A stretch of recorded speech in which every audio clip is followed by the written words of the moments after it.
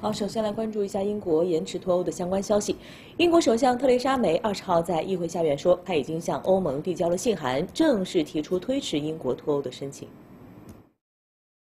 特蕾莎梅在信中说，英国寻求将脱欧最终期限由目前的本月二十九号推迟至六月三十号。她强调，自己需要更多时间来说服议会进行第三次投票，以批准脱欧协议，确保有序脱欧。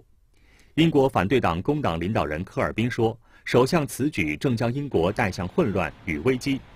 英国议会下院上周通过一份政府动议，明确若议会下院在本月二十号前通过一份脱欧协议，英国政府将与欧盟协商，寻求将脱欧最终期限推迟至六月三十号，否则脱欧最终期限恐将被推迟至更晚。